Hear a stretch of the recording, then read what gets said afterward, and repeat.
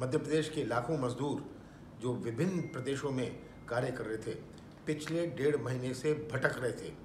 मध्य प्रदेश वापस आने अपने गाँव में अपने ज़िलों में वापस जाने के लिए खाने का कोई प्रबंध नहीं था। और बड़ी दुख की बात है कि ना तो केंद्र सरकार ने ना राज्य सरकार ने इसका कोई निर्णय किया उनको कोई साधन उपलब्ध कराए या उनकी कोई सहायता राशि करी।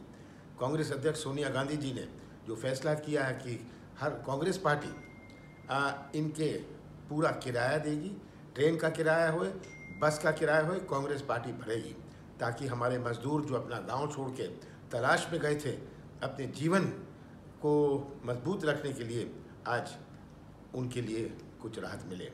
हम स्वागत करते हैं सोनिया गांधी जी के इस निर्णय का, और हम मध्य प्रदेश कांग्रेस कमेटी की ओर से पूरा उनको इसकी राशि उपलब्ध कराएँगे।